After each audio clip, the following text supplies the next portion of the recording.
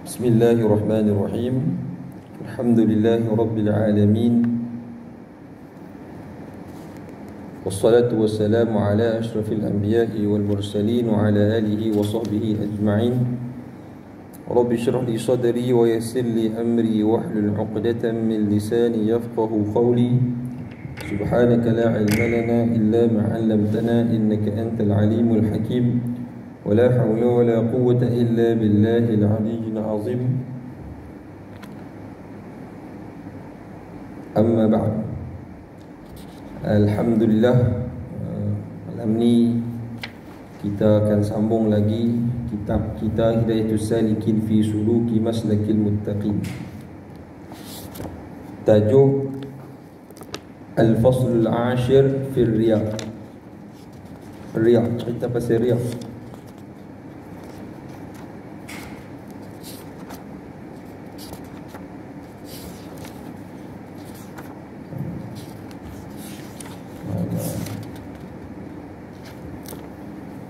Al-Faslul Ashir Fi Riyah.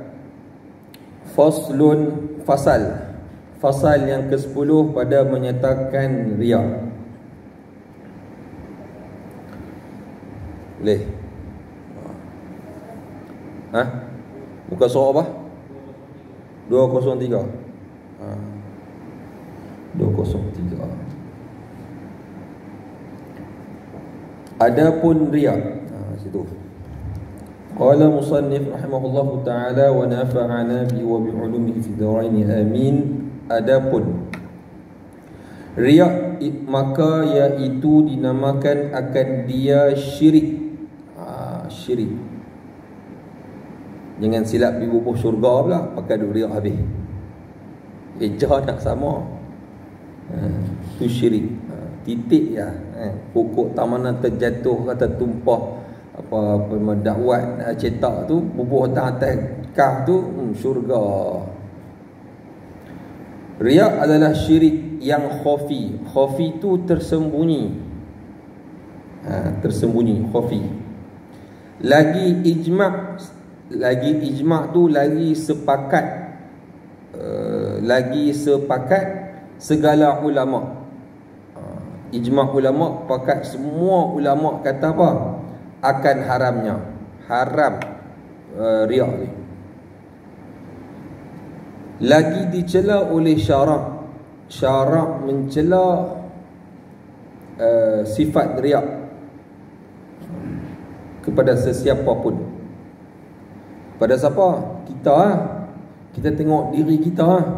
Ha, tak payah kita tengok orang lain. Orang lain tengok diri dia lah. Kita tengok kita. Ha, kalau kita duk nampak orang lain Cerita pasal ni duk nampak orang lain ha, Itu nampak gaya tu sebahagian daripada Riak nak. Ya.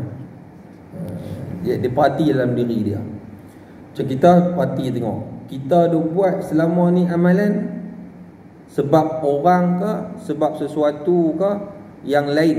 Daripada Allah ke Betul-betul kerana Allah. Kita buat kerja Kita cakap Kita apa saja yang kita buat.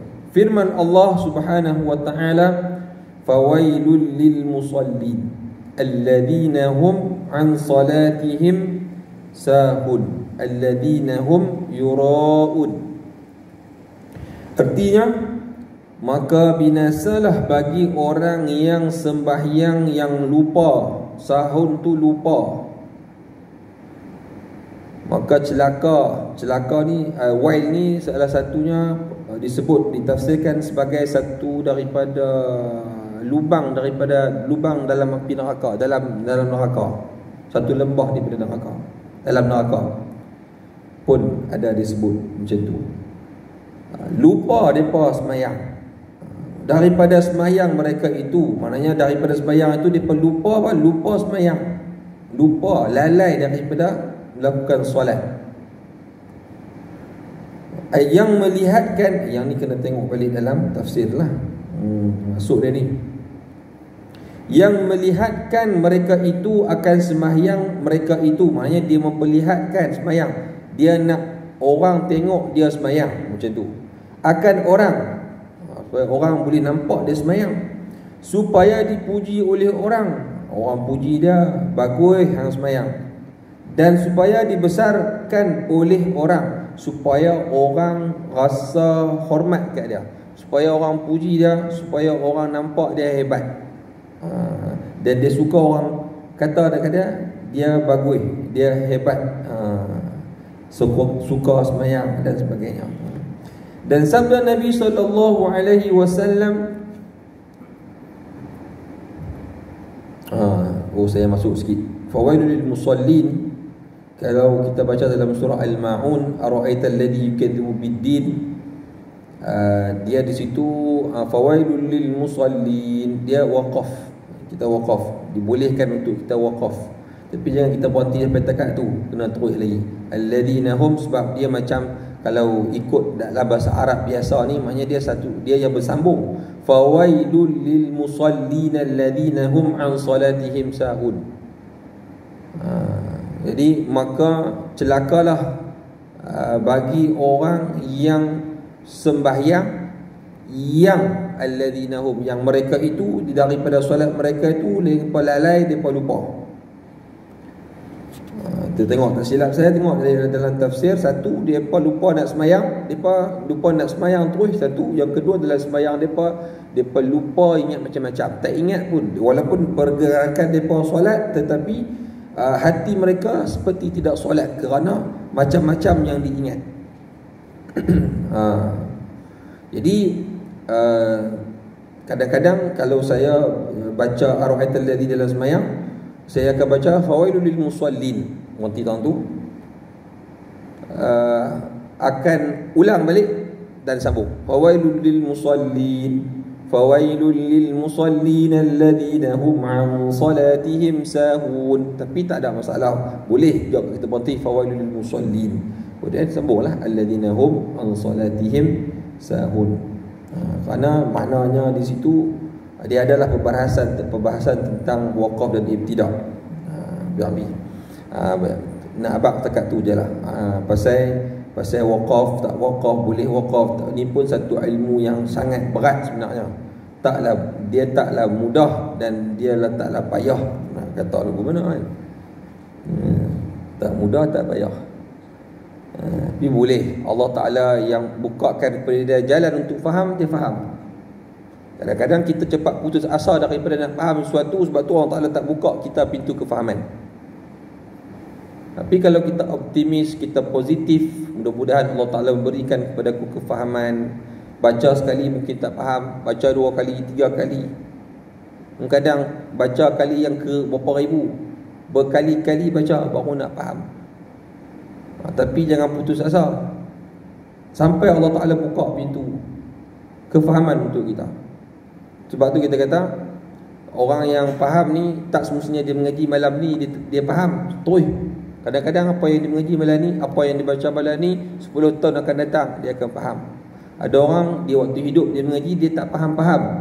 Dia masuk dalam kubur, baru dia faham. Cerita pasal alam barzah, alam barzah lagu ni, lagu tu, lagu ni, lagu ni, macam mana ni ya? Ha, masuk dalam kubur, itu puan tahu. Ha, lagu mana? Bila kita alami sendiri kan? Ada yang setengah-tengah tu? Oh no. Akhirat besok ni kan? Ha, Macam mana keadaan di syurga? Macam mana keadaan di neraka? Ha, Besok kita akan mengalami. Tapi sebenarnya Ada sesetengah orang Dia sangat dah meyakini Kehebatan tentang syurga Tentang neraka waktu hidup dunia. Walaupun dia tak Sebab macam contohnya Ada cerita Apa nama Seorang yang uh, Salafun Aswaleh Dia berjalan uh, Tepi kedai besi. Tepi uh, dia lalu di kedai orang tempah besi.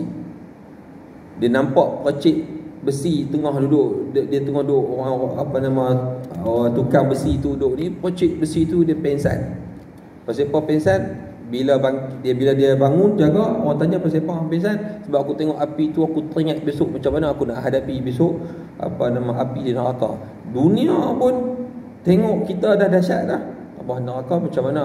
Bolehkah aku hadapi ha, macam tu? Ha, dia dia oi banyak.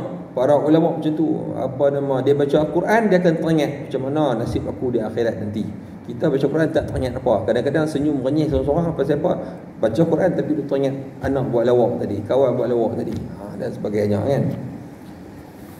Ha, banyak cerita pasal itu ha, nanti ada masa kita cerita antara antara yang disebut dalam Al-Quran secara jelas ialah uh, sifat-sifat orang munafik dia solat memang uh, untuk diperlihatkan uh, solat dia kepada orang macam mana Innal munafiqina yukhadi'una Allah wa huwa khadi'uhum wa idza qamu ila salati qamu kusala. Orang munafik ni bila dia bangun nak dirikan solat, dia bangun dengan dalam keadaan yang dia rasa segan, rasa malas, rasa berat.